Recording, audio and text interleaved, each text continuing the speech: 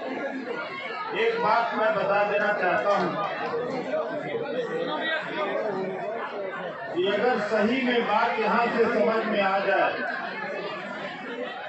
कि आखिर में ये सीए और एनआरसी लाई क्यों गई है? और इसकी लड़ाई लड़ेगा कौन? मैं गारंटी से कह सकता हूँ कि सीए और एनआरसी वापिस होगी। ये लड़ाई हिंदू और मुसलमान की नहीं है। ये मनुवाद का मनुवादी बनाम दलित का, पिछड़ों का, महिलाओं का, मुसलमानों का है। और हिंदुस्तान लफ्ज जो यहाँ इस्तेमाल होता है, मैं आपसे गुजारिश करूँगा कि हिंदुस्तान शब्द इस्तेमाल नहीं होना चाहिए। हिंदुस्तान दलित हिंदू नहीं है, पिछड़े हिंदू नहीं है। अगर दलित हिंदू होते, उनके साथ में रोटी बेटी का संबंध करते कि न करते भाई? अगर पिछड़े हिंदू होते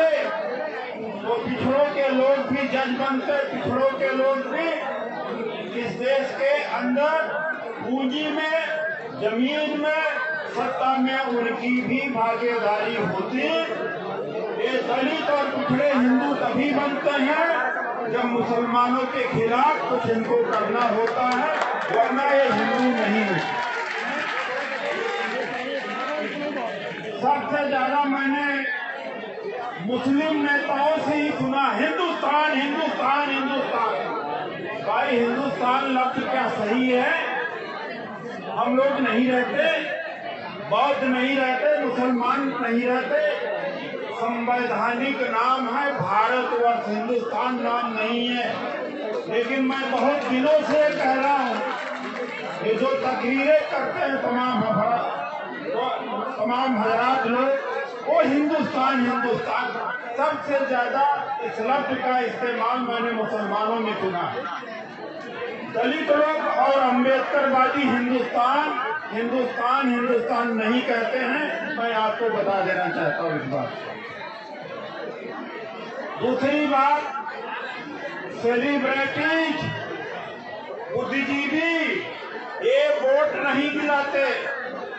वोट दिलाते हैं जातियों जमात के नेता।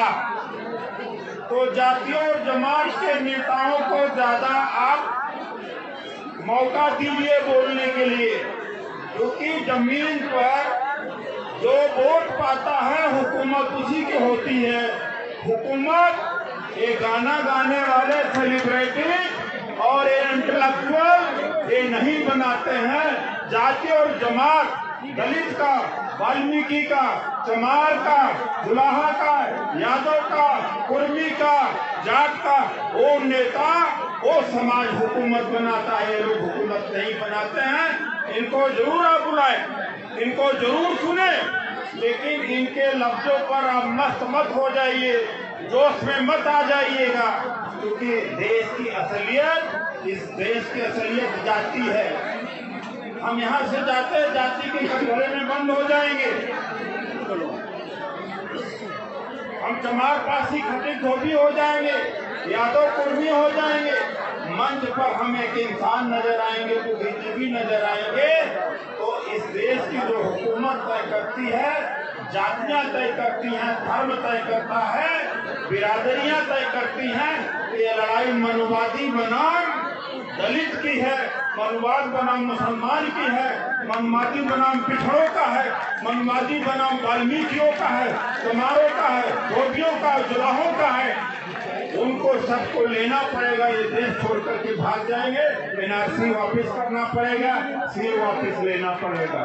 इसलिए मैं अखलाक जी से मैं अक्सर यही कहा, सलमान भाई से भी यही कहता हूँ, इस मंच पर उनको भी जगह दीजिए, कल एक गुजर गुजर का नेता ले आइए, धोबी का नेता ले आइए, जाटव का भी नेता लाइए, उनको भी मौका दीजिए। ये आपके बाज़ार से एक कविता पाठ से ये वोट की जमीनी वोट नहीं बदलेगी। ज़मीन बदलना है तो ये शाहीन बाग, एक मौका ऐसा है जो पूरे देश को बदल सकता है, एक देश के अंदर क्रांति ले ये धारा 370 जब हटाई जा रही थी मैं तो संसद में रहा हूँ।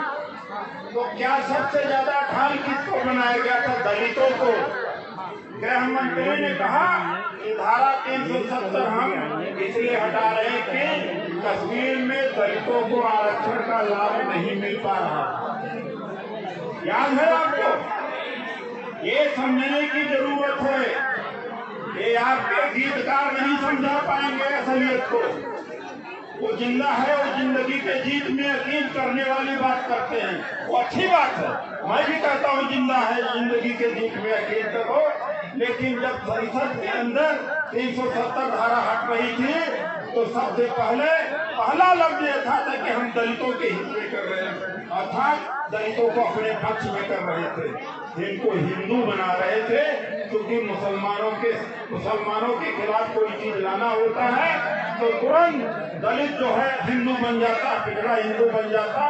वरना तो इस देश की हालत यह है कि अगर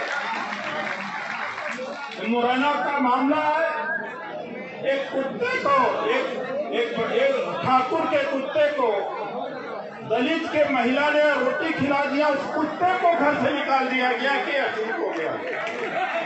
मालूम है कि नहीं मालूम है? अगर वो हिंदू होता वो दलित हिंदू होती तो क्या उसके उसके कुत्ते उसके रोटी से कुत्ता अछूत हो जाता?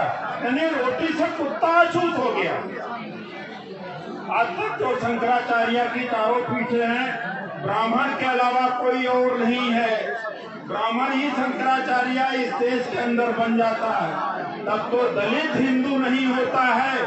जब मुसलमानों के खिलाफ कुछ करना होता है, तुरंत दलित पिछड़ा हिंदू हो जाता है। साथियों, जब संविधान बन करके तैयार हुआ था 11 दिसंबर उन्नीस सौ उनचास का दिन है। 11 दिसंबर उन्नीस सौ उनचास आज हिंदू महासभा ने डॉक्टर अंबेडकर का पुतला फूटा था रामलीला मैदान में और संविधान को जलाया था। आज जिस संविधान की बात करते हैं और हर बात बात पर डॉक्टर अंबेडकर को भारतीय जनता पार्टी आरएसएस अपनाती है, यही भारतीय जनता पार्टी उनके संविधान को जला चुकी है, उनके उनके पुतले को जला चुकी है। इसी आरएसएस के जो गोलवलकर थे, उन्होंने कहा कि ये तो भारत का संविधान नकल है। मनुस्मृति लागू होनी चाहिए थी। मनुस्मृति लागू होना चाहिए। आरएसएस ने कहा है, मनुस्मृति लागू होना चाहिए। सावरकर ने सावरकर ने यह भी कहा था, अगर इस देश की सत्ता पिछड़ों को मिलने जा रही है तो हम चाहेंगे कि अंग्रेज़ों की ही हुकूमत इस देश के अंदर बने ये शायद आपको नहीं पता होगा। इसलिए मैं आपसे कहना चाहूँगा। अब क्या कह रहे हैं, जानते हैं आप कि पाकिस्तान के अंदर जो डेढ़ करोड़ हिंदू हैं, उसमें सत्तर अस्सी प्रतिशत दलित हैं और दलितों के साथ में अन्याय हो रहा पाकिस्तान में, इसलिए ये कानून हम लाए हैं। ये आप जान लीजिए, ज़मीन पर क्या चर्चा कर रहे हैं? हम तो दलित कैसी हैं? पाकिस्तान में दलितों के साथ अन्याय हो रहा। अरे, यहाँ के दलितों को कौन सा स्वर्ग है आपने?